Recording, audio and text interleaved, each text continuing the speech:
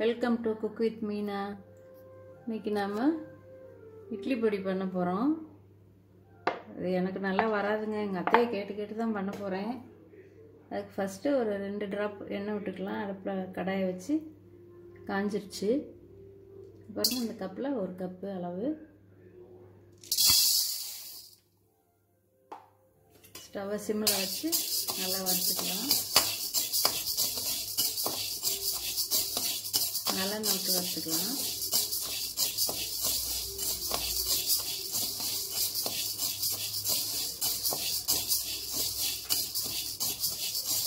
கொஞ்சம் பொறுமையாக தான் வறுக்கணும்.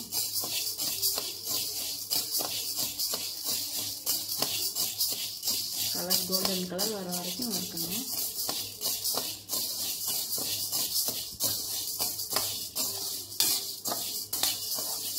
மாதிரி வரும்போது வாசனையும் வருங்க உளுந்தில் அது உங்களுக்கு தெரியும் நல்லா.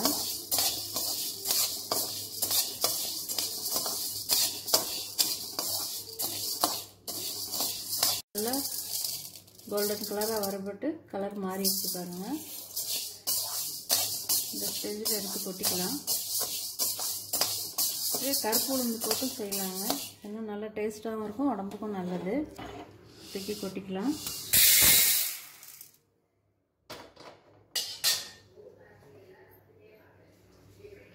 அதே கப்பில் உளுந்து ஒரு கப்புன்னா கடலைப்பருப்பு அரை கப்புங்க. எடுத்துக்கலாம். எண்ணெய் விட மறந்துட்டேன். ஒரு ட்ராப் எண்ணெய் போட்டுக்கலாம்.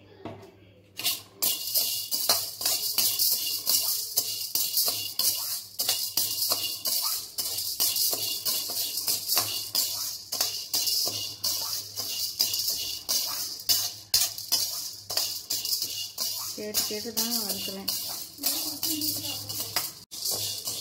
கொஞ்சம் மீடியமில் வச்சுக்கலாமாங்க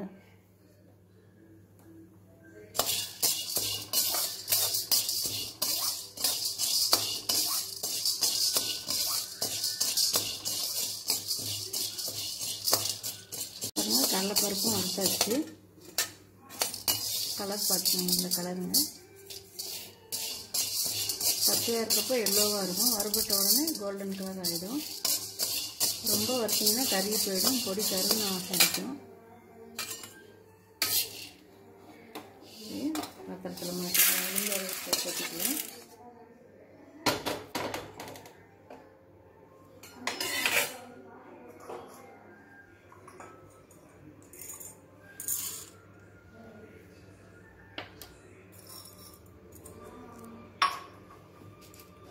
அடுத்து இந்த ஸ்பூனில் மிளகு பாருங்கள் அதில் ஒரு ஸ்பூனு.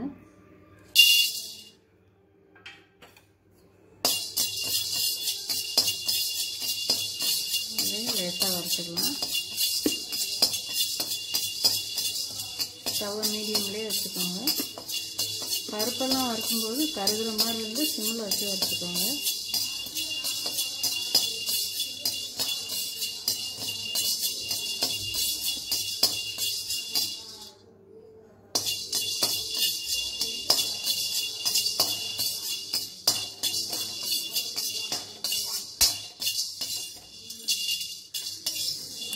வரைக்கும் எங்கள் வீட்டில் நாங்கள் எல்லோரும் அடிமைங்க.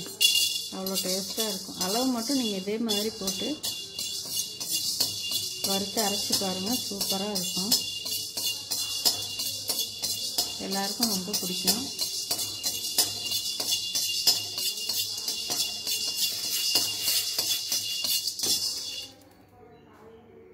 மிளகு வறுபட்டுருச்சு.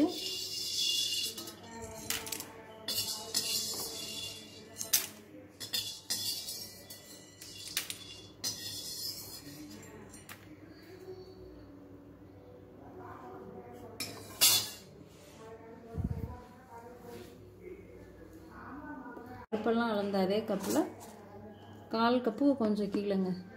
எள்ளு கருப்பு எள்ளு. வெள்ளை எள்ளை விட கருப்பு எள் நல்லா டேஸ்ட்டாக இருக்கும். போட்டு இதை வறுத்துக்கலாம்.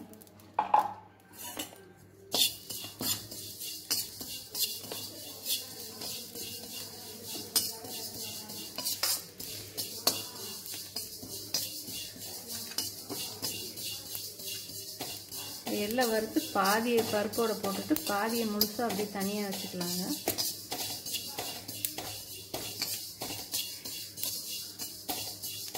பொரிய ஆரம்பிக்கிட்டு பாருங்க படப்படன்னு.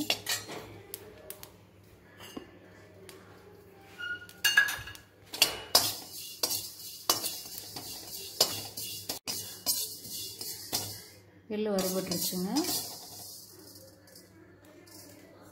பாதி அதில் போட்டுட்டு அதோட அரைச்சிடலாம். தனியாக கொஞ்சம் எடுத்து வச்சுருந்து கடைசியாக முழு எல்லாம் பொடியோட ஒன்றா சேர்த்து கலக்கணும். கொஞ்சம் எடுத்து வச்சிடலாம்.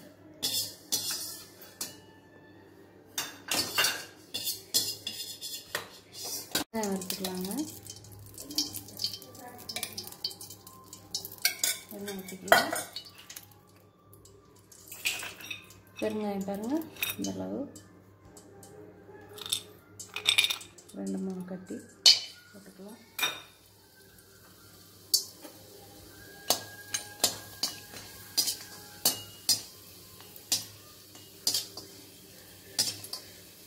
எண்ணெயில் பொரியல் பாருங்கள் இப்படி பொரிஞ்சு வரணும்.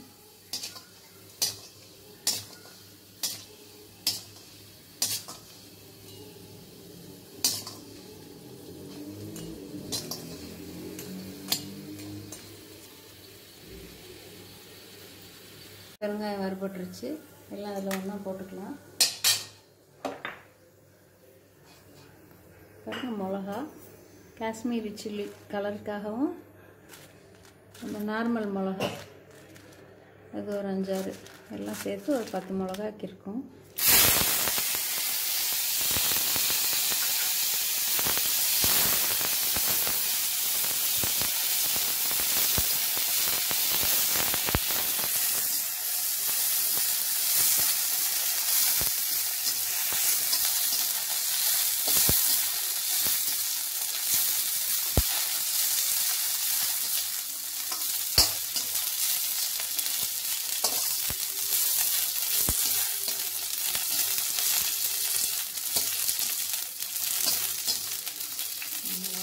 நல்லா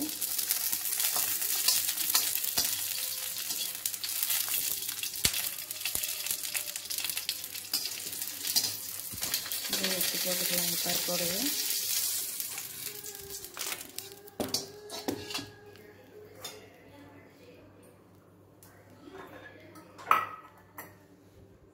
பருப்போடவே.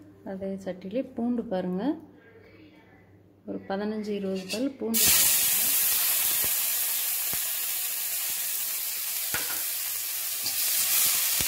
சின்ன சின்ன பல்லாக இருக்கிறதுனால பதினஞ்சு ரூபாய் போட்டுருக்கீங்க பெருசு பெருசாக இருந்துச்சுன்னா பத்து போதும். பூண்டு இப்படி நல்லா தட்டிட்டு முழுசாக போட்டிங்கன்னா வரப்படாது இப்படி நல்லா கல்லில் ஒரு தட்டு தட்டிட்டு போட்டிங்கன்னா வரப்பட்டுரும்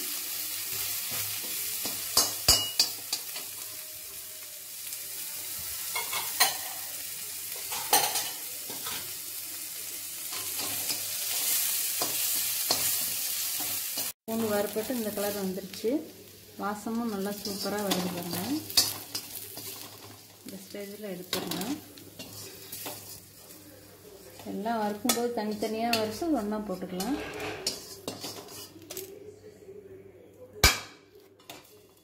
அடுத்து கடைசியாக கருவேப்பிள்ளைங்க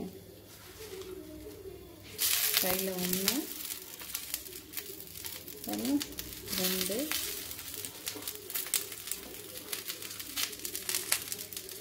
மூணு கைங்க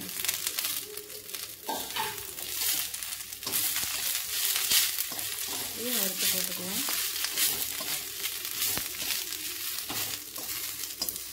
இது வந்து நான் சொன்ன இந்த ஒரு கப் உளுந்துக்குது அளவு. ஒரு கப் உளுந்து வந்து கால் கிலோ வருது அளவு கணக்கு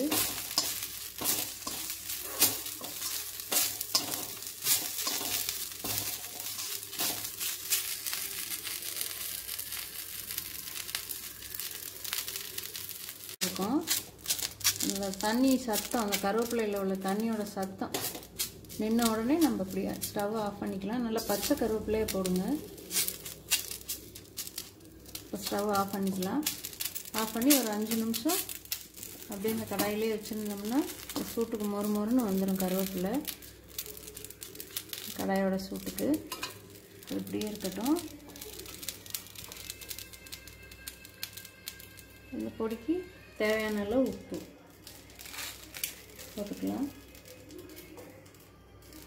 இதெல்லாம் நல்லா ஆறட்டும். ஆறின உடனே அரைச்சிக்கலாம்.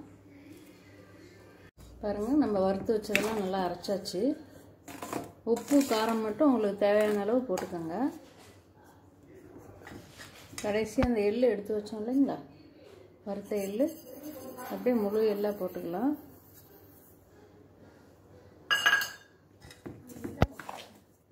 போட்டு கலக்கிக்கலாம்.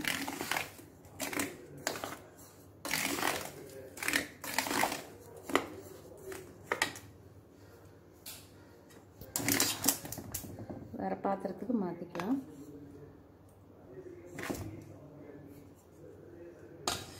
சூப்பரான இட்லி பொடி ரெடி ஆயிடுச்சு. நீங்களும் செஞ்சு சாப்பிட்டு பாருங்கள் உங்கள் கமெண்ட்ஸ் சொல்லுங்கள்